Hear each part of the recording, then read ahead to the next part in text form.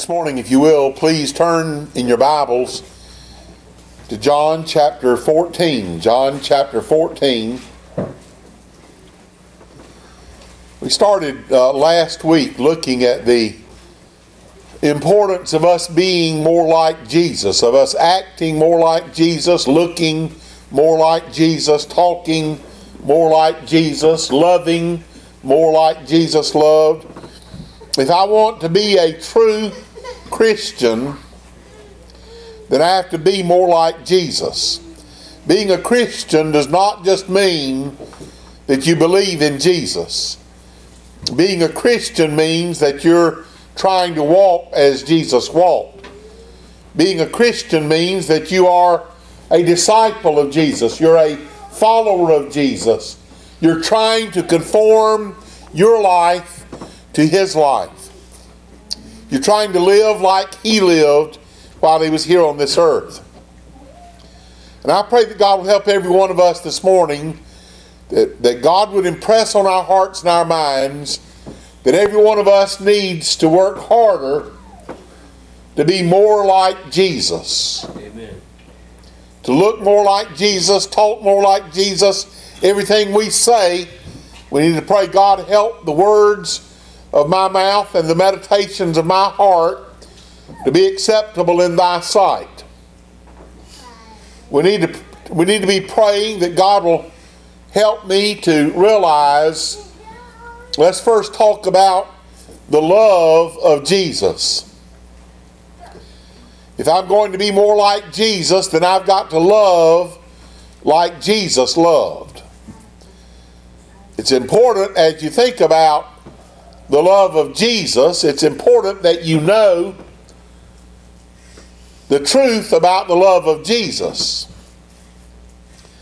Jesus loves us so much that he will not allow us to walk contrary to his word without us experiencing serious consequences. It's because he loves us that he chastens us. The Bible says, Whom the Lord loveth, he chasteneth and scourgeth every son whom he receiveth. Jesus says, Revelation 3:19, Jesus says, As many as I love, I rebuke and chasten. So when you hear parents say, I love my child too much to chasten them or discipline them or spank them, understand that's not the love of Jesus. That's the devil's love. And when you fail to discipline your children, they're going to end up in very serious trouble in their lives. So, as the people of God, when we think about, I want to be more like Jesus, I want to love like Jesus loved, understand that does not mean that you ignore what people are doing that's wrong. You can't ignore what people are doing. If you really love them, you cannot watch them go down the road to hell and not say a word to them. If you really love people and you see that they're going to destroy their lives, you can't be silent and say nothing about the direction in which they are headed. If you love them, then you're going to say something when you see them going astray. That's part of love. That's Jesus' love. So if I want to be more like Jesus, I need to love better than what I'm loving right now. I haven't attained to any one of the characteristics of Jesus like I need to. So as we begin to talk about, and the first thing we're going to be talking about is loving like Jesus loved. When we talk about loving and us loving and God loving and Jesus loving, when we talk about that, we need to understand that we need to pattern our love for people like Jesus loved people. The Word of God says this, for God so what? I didn't have to even didn't even have to finish the sentence. All I gave you was three words. For God so loved the world that he gave his only begotten Son, that whosoever believeth in him should not perish, but have everlasting life. We need to pray that God will help us to realize the magnitude of the love of God, that He loved us that much, that He gave His only begotten Son for us. If I love people like Jesus loved, I'm going to be making great sacrifices in my life in order to help them. That's what God did. He made a great sacrifice. He gave His only begotten Son. Romans chapter 5 and verse 8 tells us more about the love of God. The scripture says there, For God commendeth his love toward us, in that while we were yet sinners, Christ died for us. We were not lovable people. There was nothing about us that would cause us to be loved. We were not trying to serve God. Scripture says there that while we were yet sinners, Christ died for us. That's the love of God. So if you're going to love like Jesus loved, you're going to have to love people that are not very lovable sometimes. You're going to have to love people that are not showing you love. It's easy for me to show love to people who love me. But Jesus says, You're nothing more than the Pharisees if the only people you're loving, if the only people you're helping are people that are loving you and people that are helping you. The Pharisees do the same thing. But a Christian loves those that are unlovable. Loves them so much they're going to try to work with them to correct the error in their lives. So we can talk a lot about the love of God, but I want us to concentrate right now on us loving God and what do we have to do to show our love for Jesus? What do we have to do to show our love for God. Can you look at me and can I look at you and are there scriptural ways that I can tell whether or not you really love Jesus? You wearing a, a lapel pin that says I love Jesus, I'll tell you, brethren, that really doesn't mean much at all. The way you declare your love for Jesus is by the way you live every day.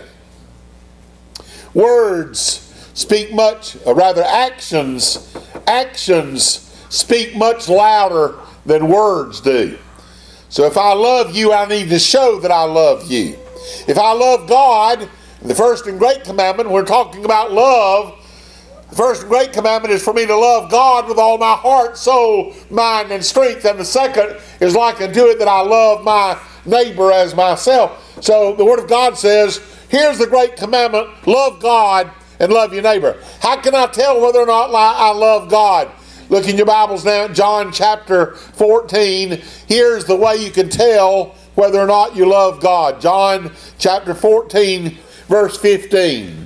John 14, verse 15, the Word of God says, Jesus says, If you love me, keep my commandments. Can you tell whether or not people love Jesus, love God? How can you tell? if they're keeping His commandments.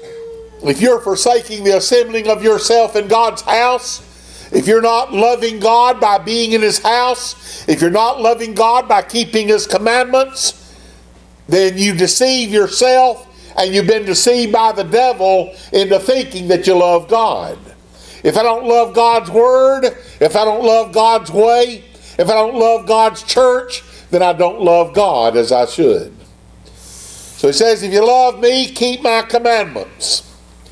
So if I want to love God more, if I want to look more, act more, and be more like Jesus, what do I need to do? Keep his commandments. What did Jesus do? He kept the commandments, didn't he? He kept the commandments to every jot and tittle. So if I'm going to be a follower of Jesus, a disciple of Jesus, if I'm going to be a Christian, I need to keep the commandments of God. So John 14, 15, Jesus says, If you love me, keep my commandments. Come down to verse 21. Verse 21 says, He that hath my commandments and keepeth them, he it is that loveth me, and he that loveth me shall be loved of my Father, and I will love him and will manifest myself to him. I'll tell you, brethren, God will manifest himself to you. He will show you more love when you show him more love. God manifests himself to you. Go down to verse 23.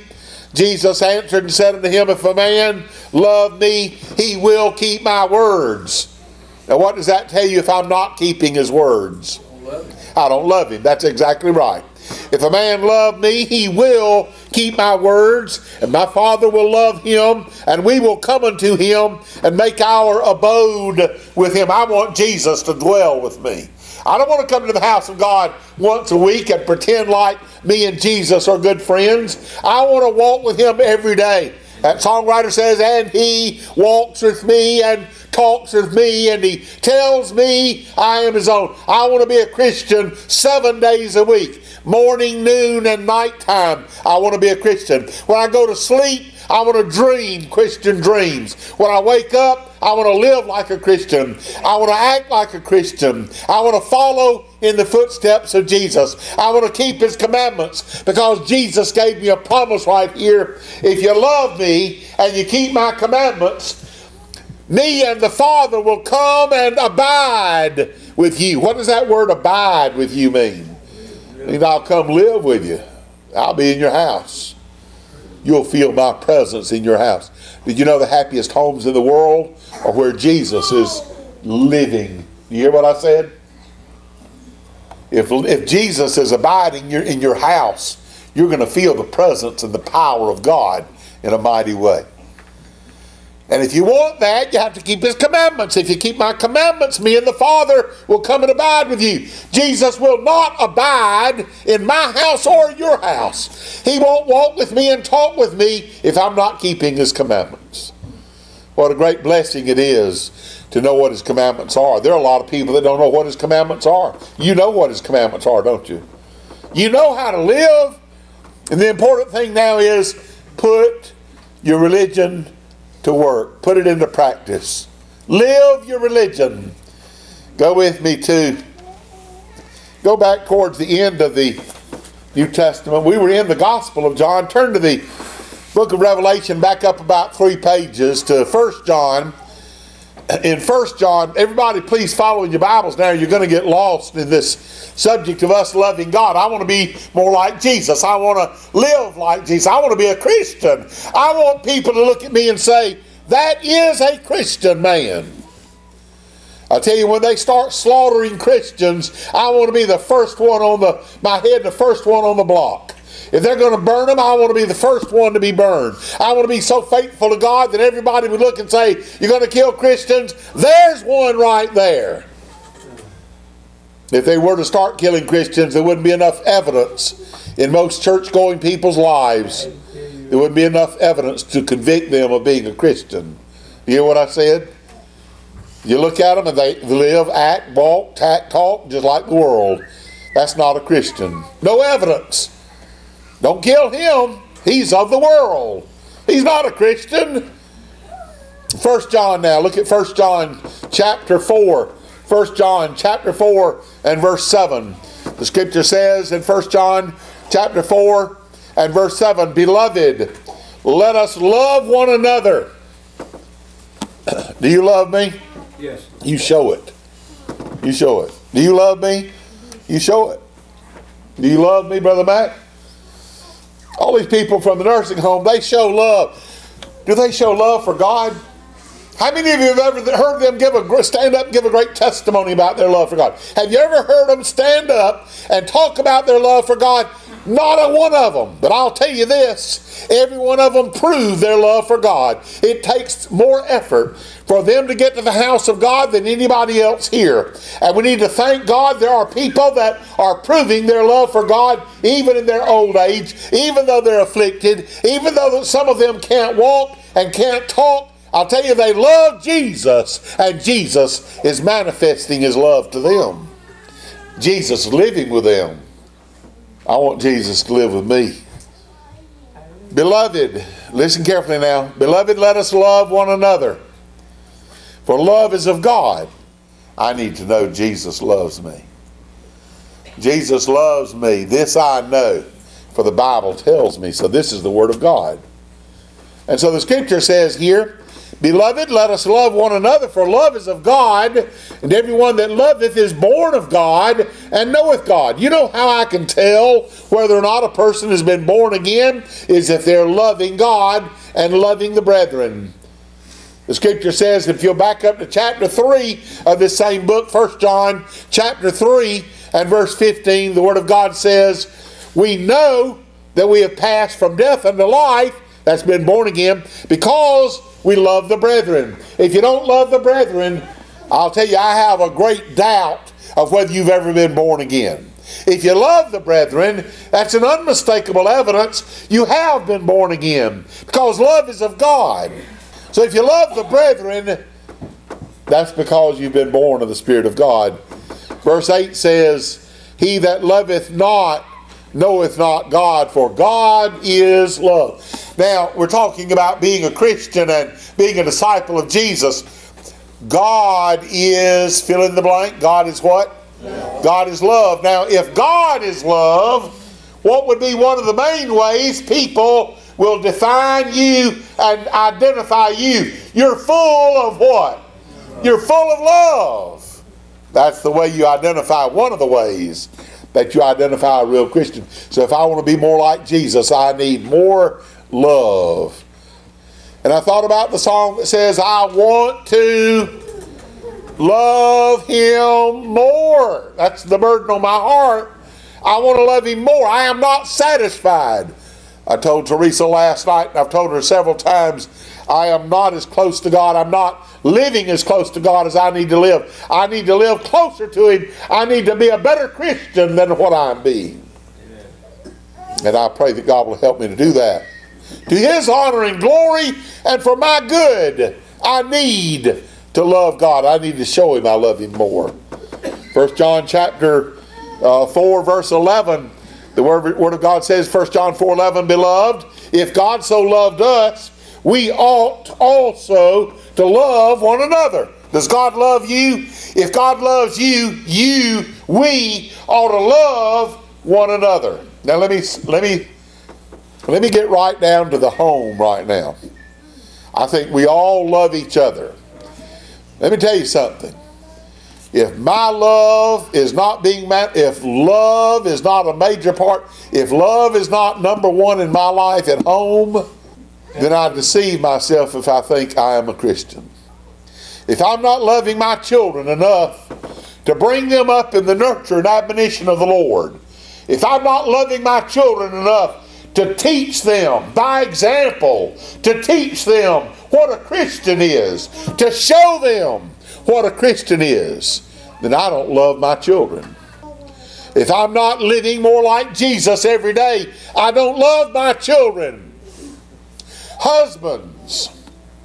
Ephesians chapter 5 and verse 25 says, Husbands, love your wives, even as Christ also loved the church. Did Jesus love the church?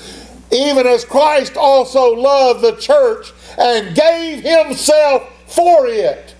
Jesus loves the church. Jesus loves the church. Now, you want to be a Christian? Husbands, you want to be a Christian? If you want to be a Christian, one of the most important things is for you to love your wife as Christ loves the church. If you don't love your wife, then you're not being a Christian.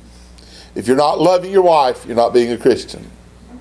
And the wives see that they love their husbands and reverence their husbands. The wives need to be showing love to the husbands, and the husbands to the wives, and the parents to the children, and the children to the parents. All of you parents, you need to teach your children, instruct them, train them in the way they shall go, bring them up in the nurture and admonition of the Lord. That's a happy home. You know why? Well, when you're loving your wife, your wife's going to love you back, and your wife's loving you. You're going to love her back, and the parents are loving the children. You've got a home full of love. And God is love. And when you got a home full of love, God is manifesting Himself in that home. You'll see the hand of God doing things you never thought were, were possible. You'll see people change like you thought it was impossible when people start loving God and loving each other. When people start being a Christian, you'll see miracles performed.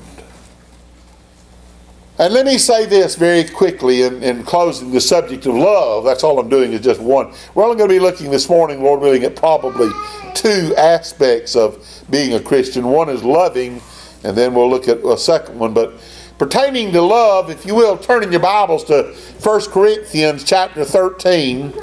I want you to remember this now. It's very, very important. Because you can. Uh, you can walk around with the Bible. You can quote Genesis through Revelation. You can do all kinds of things to look religious.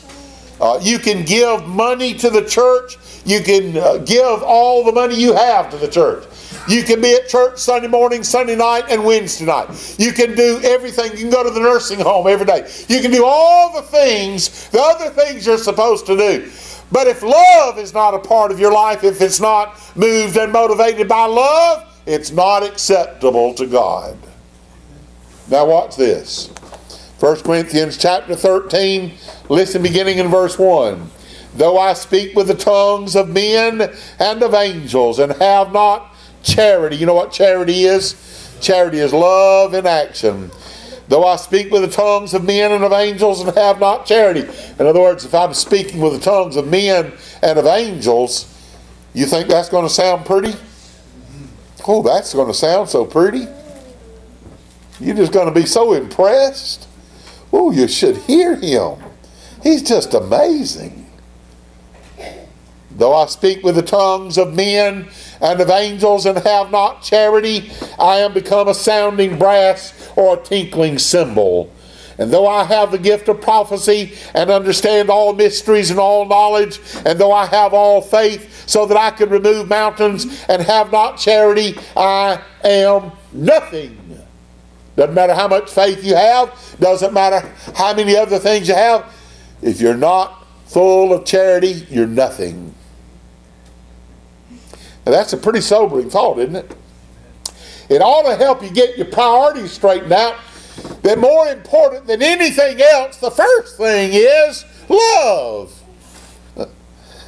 Verse 3 says, And though I bestow all my goods to feed the poor, and though I give my body to be burned and have not charity, it profiteth me nothing. So the first attribute of Christ that I want to encourage you if you want to be a Christian, if you want to be a disciple of Jesus, the first attribute is I want you to know you must love God and love His people. You must love your family. You must show that love. Don't talk about your love, show the love. Now, the second attribute, and I thought, as I've got gotten all this studying done this week, and I and I've gotten all these beautiful things that the Lord's given me, and, and, I've rejoiced in it, but I've gotten depressed because I see so many areas I need to improve. Does everybody understand what I'm saying? Oh, it's a great blessing to read all about how wonderful Jesus is, but then when you see what I'm supposed to be is to be like Him, and I see so many ways I'm not like Him, that's depressing. But the second thing that's on my heart that I believe God irrefutably put on my heart for this morning after love is your talking.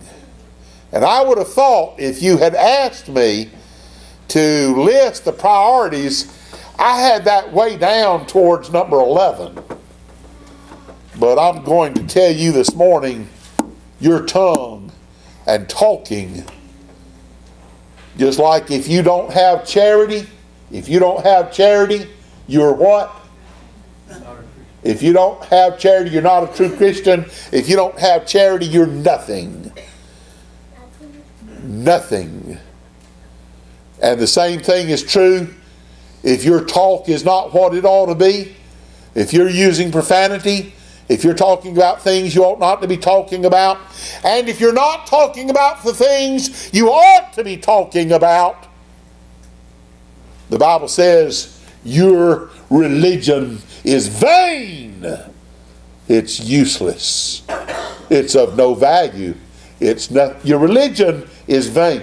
Can you destroy everything positive you do with just that little bitty member of the body? Can you destroy everything about your life just by your tongue? Yes, yes you can. So I'm going to say this morning that you must concentrate on your tongue. I want everybody here to concentrate on loving God, loving His people, loving your family especially. But I also want you to concentrate on your tongue. If you will, turn in your Bibles to John chapter 6, beginning in verse 60. John chapter 6, beginning in verse 60. The Word of God talks about the sayings of Jesus were very hard sayings. And as you read this, I'm not going to read this entire passage to you, but as you read John chapter 6, verses 60 through 69, the Word of God describes the hard sayings of Jesus. There are a lot of hard sayings. Aren't those two sayings that I just mentioned to you, aren't those pretty hard sayings that though I give my body to be burned and understand all mysteries and, and have not charity, I'm nothing? That's pretty hard saying, isn't it? Jesus says, Love your enemies. I love you and I love you and I love everybody in this building, but I have trouble loving my enemies. That's a hard saying, but that's what Jesus taught us to do. A lot of hard sayings. Spanking your children. I don't want to spank my children. Well, sometimes I did want to because I was so mad about the way they were acting. But when I'm thinking right, I don't really want to spank them, but I have to spank them. Everybody follow that? Because I love them. My tongue, my tongue. The Word of God says in John chapter 6, starting with verse 60, Many, therefore, of his disciples, they were disciples. They were following him. They were loving him. They were loving their families. They were doing a lot of things right. They were going to church. But many of his disciples, when they heard, had heard this, said, This is a hard saying. Who can hear it? When Jesus knew in himself what his disciples murmured at it, uh, that his disciples murmured at it, he said unto them, Doth this offend you? What and if ye shall see the Son of Man ascend up where he was before? It is the Spirit that quickeneth, the flesh profiteth, the flesh profiteth nothing. The words that I speak unto you, they are spirit and they are life. I'll tell you, there's great power in your words. Amen. We studied that recently on a Wednesday night. Out of your mouth proceed, proceed words of power of life power of death. You can build up or you can tear down with your tongue. Come down to verse 66. Verse 66 From that time, many of his disciples turned back and went back and walked no more with him. Why? Why did they turn back and walk no more with him? Because of the hardness of his sayings. Now, if I'm going to be a disciple of Jesus, I've got to say what Jesus said. I've got to teach what Jesus taught. And if they turn back and walk no more with Jesus because of the hardness of his sayings, I need to have it understood in my mind that people are going to turn back and walk no more with me if I say what Jesus said. Does everybody understand that? But if I don't say what Jesus said, Jesus is going to judge me for not saying what he said. And then, after many of his disciples went back and turned and walked more with him, verse 67 says, Then Jesus said unto the twelve, Will ye also go away? And then Simon Peter answered him, Lord, to whom shall we go? Thou hast the words of eternal life. I'll tell you, brethren, we need the words of eternal life. You need to know what those words are. You need to know what eternal life is. You need to know what the words of eternal life are. You need to be speaking words that are words of life, words of eternal life, words of abundant life. Let's take the very first words that are recorded in the Bible that Jesus ever preached or taught. It's in Matthew chapter 4 and verse 17. From that time, Jesus began to preach and to say, Repent. Now, let's just stop right there. I come to you and tell you you got to repent. You're going to say, Oh, thank you, Brother Billy. I'm so glad you came over.